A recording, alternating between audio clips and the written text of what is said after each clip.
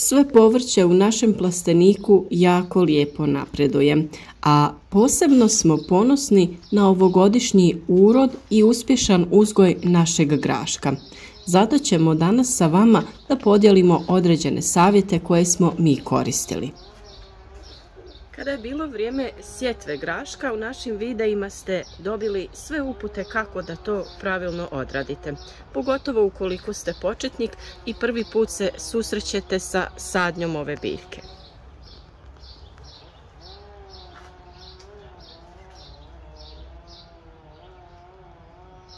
Grašak voli rastresitu zemlju koja je pognojena za prethodnu kulturu i ne voli previše stajskog gnojiva.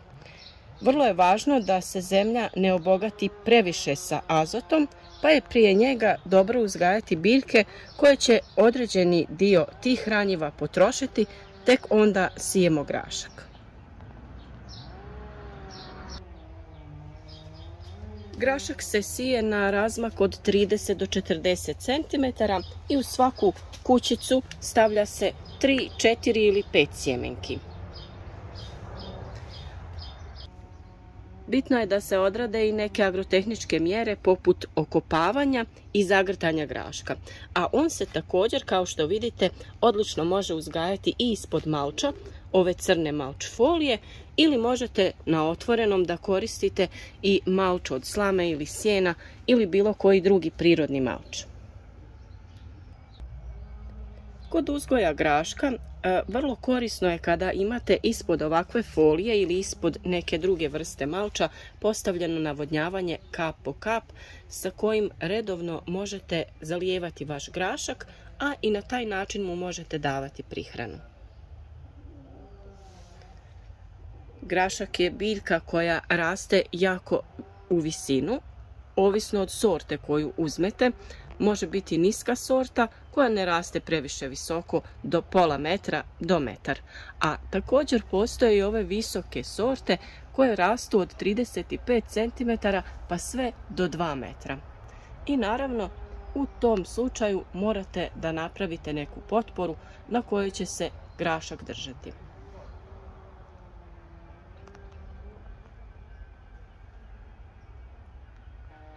Mi smo za uzgoj našeg graška iskoristili mrežu za krastavce. A naravno, vi možete to da uradite na mnoge različite načine i u tome imate poseban video na našem kanalu kako da napravite potporu za grašak. Naš grašak je izrastao dosta više od 2 metra i mislimo da je tome zaslužno redovno navodnjavanje te prihrana.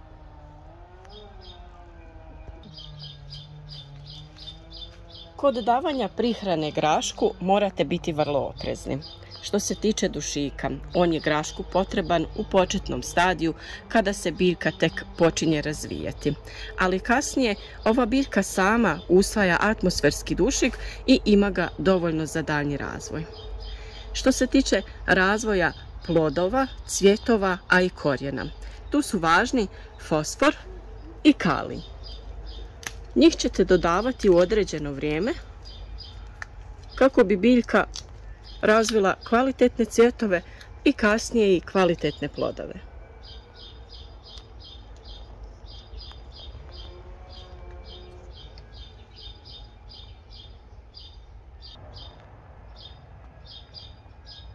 Što se tiče temperatura, ova biljka voli umjerenije godišnje doba, tako da ćemo nju uzgajati više puta godišnje, ali gledati ćemo da to bude u vrijeme kada su temperature malo niže, a ne da nam dozrijeva baš sredinom ljeta kada je previše vruće, jer postoji šansa da će nam onda plodovi biti sitni i da neće biti kvalitetni.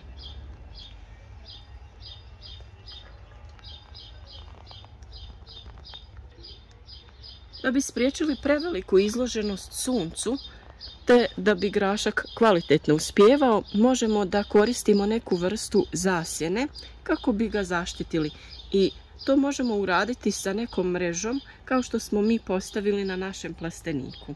Također zasjena takve vrste može se odraditi i na otvorenom.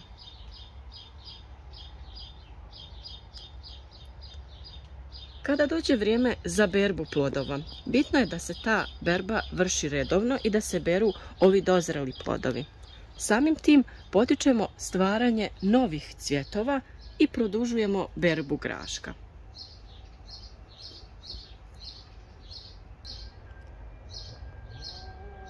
Mi smo grašak sijali oko 20. aprila i sada je on već pri kraju svoje vegetacije. Mi ćemo izvršiti berbu i uklonit ćemo zaostatke ovih biljaka iz našeg plastenika te ćemo vidjeti da posijemo nešto novo kako bi iskoristili ovaj prostor. Ovim biljkama je bilo potrebno da sazore oko nekih dva mjeseca. Tako da možete planirati da krajem ljeta posijete vaš grašak kako bi on sazorio i stigao prije prvih mrazova, tako da ćete imati veću količinu graška koju ste uzgojili u jednoj godini.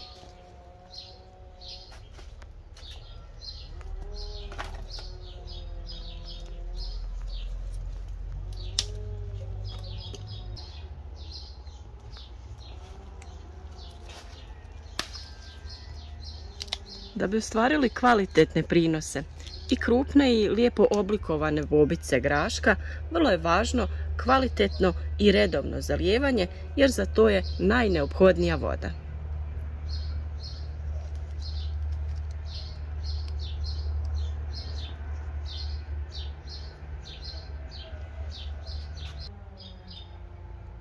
Najbolje je zalijevanje ove biljke obavljati rano ujutro ili predvečer i bilo bi dobro kada bi se u tom slučaju koristila kišnica. Ukoliko vam nije dostupna, važno je da vodu naspete ranije kako bi se ona eventualno ugrijala, jer nije dobro da se zalijeva sa hladnom vodom. U tom slučaju može doći do opadanja cvjetova, to jest izostanka plodova.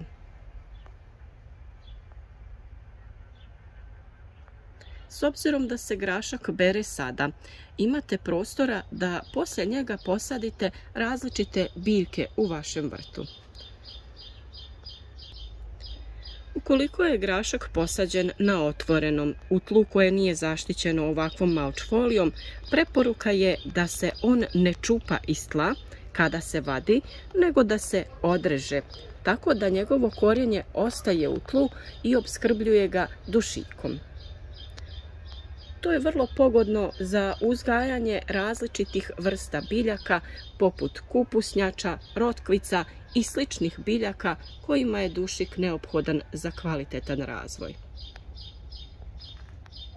Tri su glavne vrste graška prema izgledu, a to su glatki grašak, obični grašak i grašak šećerac.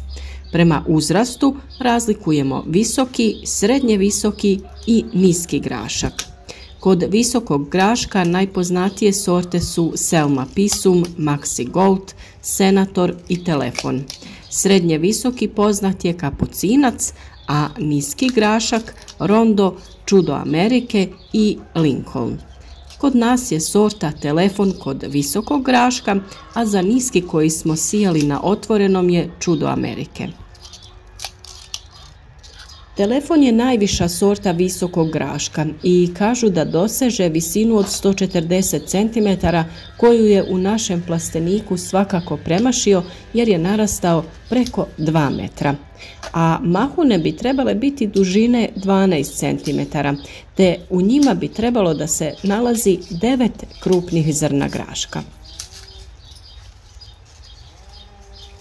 Iskusni povrtlari odavno uzgajaju grašak, a za sve one koji to do sada nisu činili, evo i nekoliko informacija o dobrobitima graška za naše zdravlje. Grašak je bogat vitaminom A, C, E, B1 i B2, sadrži nijacin, magnezij i mangan. Kao odličan izvor vlakana pomaže kod održavanja i očuvanja probavnog sustava te poboljšava probavu. Ojačava naš imunitet, djeluje na umor i bezvoljnost, a budući da sadrži željezo, poboljšava uspješniju izgradnju stanica u krvi. On je bogati vitaminom K, pa možemo zaključiti da je važan za krvožilni sustav, očuvanje i zdravlje naših kostiju. Redovna konzumacija graška može čak eliminirati pojedine bolesti blažeg oblika, ali i ublažiti neka jača oboljenja. Definitivno je grašak biljka koju svakako morate imati u vašem vrtu. Vjerujemo da su vam ovi savjeti bili od pomoći i nadamo se da ćete se družiti s nama i dalje. Zapratite naš kanal, ostavite neki like ili komentar, a naravno mi ćemo se potruditi da svaki dan objavimo novi koristan video.